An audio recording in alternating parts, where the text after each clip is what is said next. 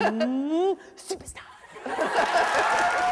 Molly Shannon is most well known for her six years on Saturday Night Live, as well as the characters she created like Sally O'Malley and Mary Catherine Gallagher.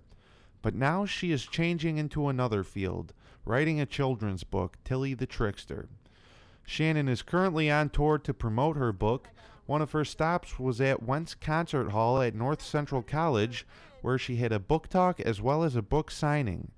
So, what thoughts did her fans have when hearing that she wrote a book? I thought it'd be more about her time maybe on SNL or as an actress. And I wasn't expecting a children's book from her. You know, I think anybody should go in any direction that they want to go in. You know, it's like, you know, she, this is just part of who she is. She's a mom now, she has little kids, and I think that uh, she just brings whatever talent and comedic uh, uh, expertise that she has to you know, writing books yeah. and stuff now for kids. I know a lot of celebrities have been trying to write kids' books, and it usually doesn't work out. However, her becoming an author did not come as a surprise to them, as Shannon had about six years of writing experience during her time on Saturday Night Live. Yeah, I guess it did prepare me. Like, I think Tamar was like, wow, you're so quick. And I'm like, oh, well, yeah, I'm used to Because on Saturday Night Live, we would write stuff. Basically, you have to kind of try to write your way into the show. But Saturday Night Live is like a writing job where you have to be a writer, performer, and figure out, you know, characters and things to get, get on the air.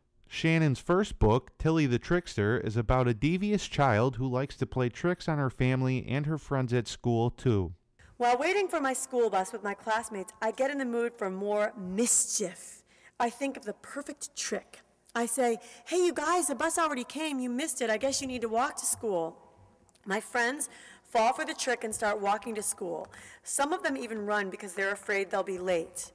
When the bus finally comes, I'm tickled that I get it all to myself. I really did do that trick when I was four years old on a bunch of kids. Tilly is another one of the many characters Shannon has created since her days at SNL. Who's the inspiration for Tilly? Is it you? Is it your kids? Is it some relative? Who is yeah, it? well, my dad growing up was really silly. My dad raised my sister and I alone, and he was the kind of person who would, you know, when we were like 10 or 11, he, if, if I was with him and we were going into a candy store, he would go, let's pretend like we're blind. So he'd walk in and be like, oh, I can't see. Is this chocolate? And he'd like try, knock down boxes of candy. And he just, he was very, very silly. Her fans all seem to greatly enjoy the book, both children and adults alike. They also enjoyed hearing about Shannon's life as a child and her time on Saturday Night Live. Yeah, I think my favorite kind of person is someone who is just themselves, and then whatever comes out, comes out. It's like Oprah's like that. There's just certain people who have the ability to connect with people.